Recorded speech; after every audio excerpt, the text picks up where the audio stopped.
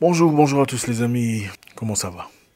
Zach Mouikassa. Aujourd'hui, je suis de bonne humeur parce que j'ai mangé du poulet brisé. Donc là, là, là, avant de vous parler, je mangeais du poulet brisé.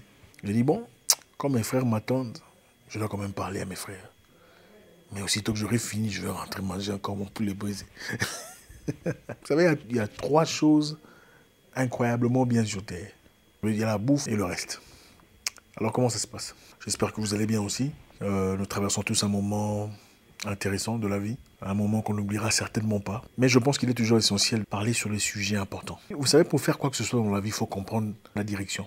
Quand on a une voiture, même si on a un GPS, si on ne sait pas où on va, même avec son GPS, on va aller n'importe où. Même avec son GPS, on va aller n'importe où. Donc dans la vie, il faut comprendre sa direction. La vie n'a pas d'objectif précis pour tout le monde. Il faut d'abord comprendre son objectif à soi sa direction personnelle, les raisons pour lesquelles on est là, et aussi ses désirs personnels. Avec ça, on crée son propre GPS sur sa direction. Il n'y a pas généralement une direction euh, officielle pour tout le monde. Celui qui vous dit ça est un menteur, c'est un gros menteur. Nous n'avons pas tous les mêmes directions, on n'a pas tous la même destinée, les mêmes objectifs.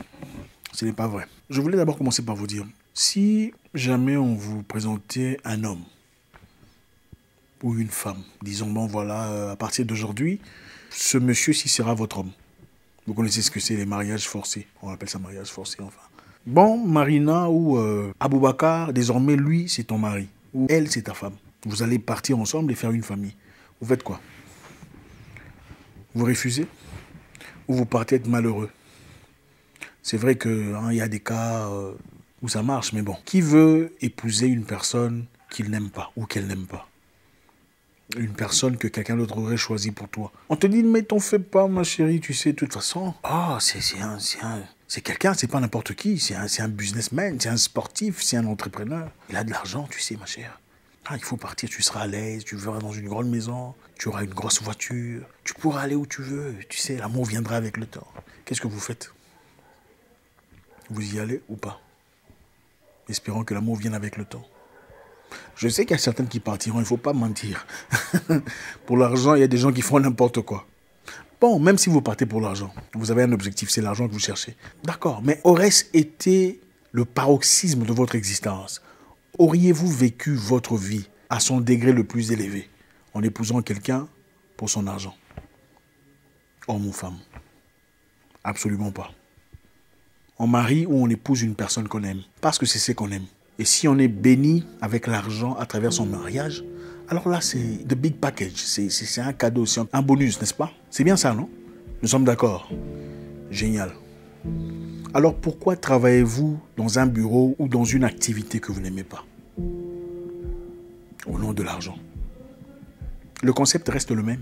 Écoutez, L'être humain est sur Terre pour un moment très bref. Vous êtes là pour un moment très bref. Pour pas seulement vivre les raisons pour lesquelles vous êtes sur Terre, mais aussi pour découvrir vos désirs personnels. Un moment très bref qu'on veut substituer à un travail. Donner son temps à quelqu'un pour avoir une petite pitance. Pour avoir un frais, un peu de monnaie à la fin du mois. Payer ses factures, payer le courant, payer la maison et rentrer travailler. Pourquoi? C'est quoi la différence? Vous savez, dans le temps, l'esclavage existait. Hein. L'esclavage dans le temps, c'était une question d'enlever les gens, de prendre les gens de force, de vendre à d'autres personnes qui vont se servir de ces personnes comme travailleurs, en tout cas sans repos, pour leur bénéfice personnel. C'était ça l'esclavage dans le passé. L'esclavage n'est pas fini. Hein. L'esclavage a simplement changé de forme. Aujourd'hui, l'esclavage, c'est on t'envoie à l'école, que tu n'as pas aimé. C'est une forme d'esclavage. Tu n'as pas aimé cette formation, mais on t'a préparé dès ton enfance à devenir esclave de quelqu'un. Tu vas, tu bosses pendant des années dans un milieu où tu n'as pas de passion, tu te retrouves dans un bureau en train de travailler, où quelqu'un te crie dessus, ou pas, où tu es malheureux ou malheureuse, tu n'as pas de satisfaction émotionnelle ou de croissance spirituelle, mais pour avoir quand même une pitance à la fin du mois. Et on se dit, j'ai réussi ma vie quand on a un salaire de quoi? 1500 euros à la fin du mois? Ou 2000 Ou peut-être moins? Ce n'est pas pour ça que vous êtes sur Terre. Je suis désolé. Vous êtes là pour autre chose. L'objectif de la vie, ce n'est pas de faire de l'argent. Ce n'est pas ça l'objectif de la vie. Écoutez, l'objectif de la vie, ce n'est pas de faire de l'argent. Non, ce n'est pas ça. Il y a des choses que vous aimez faire. Il y a des choses qui brûlent dans vos cœurs, mais qui ne sont peut-être pas lucratifs. C'est ça que vous devriez faire. L'argent n'est que le résultat d'un travail bien fait. L'argent n'est que le résultat d'un travail méticuleusement fait, un travail passionné. quand vous aimez ce que vous faites. Laissez-moi vous dire une chose. Il n'y a aucune personne qui fait beaucoup d'argent dans une activité qu'il n'aime pas. Il n'y en a pas. Demandez même ceux qui font de l'argent. Ils vous diront, j'ai fait de l'argent parce que j'aime ce que je fais. J'aime tellement ce que je fais, alors j'ai commencé à faire beaucoup d'argent. Je n'ai pas aimé l'argent dans le sport. Ce n'était pas l'argent que j'ai aimé. J'ai d'abord aimé le sport. C'est le sport que j'aimais. J'aimais cogner sur les gens. J'aimais ça. Mais avec le temps, l'argent est venu naturellement. Parce que voilà, imaginez-vous, vous recevez un dollar. Vous avez un enfant. Et à chaque fois que vous faites du bien à votre enfant, vous recevez un dollar. À chaque fois que vous lancez quelque chose, vous recevez un dollar. À chaque fois que vous nettoyez votre enfant, vous le préparez, vous recevez un dollar. Après 10 ans, vous aurez combien? Ou 7 ans, 6 ans Beaucoup d'argent, n'est-ce pas? C'est ça le concept de l'argent. Malheureusement, les gens sont tellement cupides. Ils ne courent que comment faire pour avoir de l'argent? Ce n'est pas pour ça que vous, êtes malheureux. Vous faites des choses incroyables. Vous risquez votre vie pour avoir de l'argent. Ce n'est pas ça la raison pour laquelle vous êtes là. Cherchez d'abord votre liberté. Beaucoup de gens cherchent l'argent parce qu'ils pensent avoir la liberté à travers l'argent. Voilà pourquoi on dit la liberté financière. Non, non, non, non, non. Vous avez besoin de liberté spirituelle et émotionnelle d'abord, avant de chercher la liberté financière. Peut-être que si vous trouvez votre liberté spirituelle et émotionnelle, vous n'aurez pas besoin de cette prétendue liberté financière que vous cherchez. Les gens cherchent l'argent parce qu'ils pensent qu'à travers l'argent, on sera heureux. L'argent viendra étaler vos défauts, vos défaillances.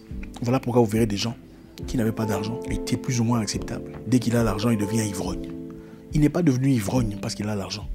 Il avait des défauts pensés pouvoir les pallier avec l'argent.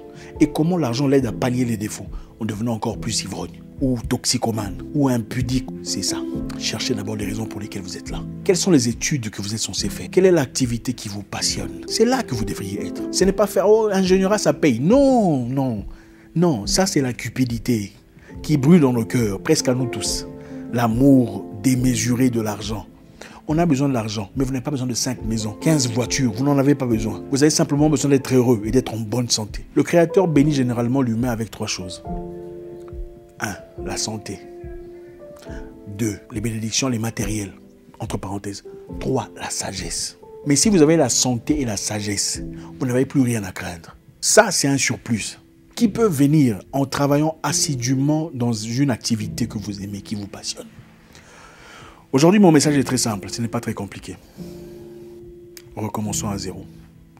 Vous n'êtes peut-être pas là où vous êtes censé être, et vous le savez, quelque part dans votre cœur. Et votre cœur n'arrête pas de vous le rappeler, parce que ça brûle dans votre cœur. Vous savez que vous n'êtes pas censé être là, mais vous êtes obligé de rester, parce qu'il y a des raisons. Mais ces raisons ne sont peut-être pas aussi fortes que les raisons essentielles de votre existence. Je ne sais pas ce que c'est pour vous.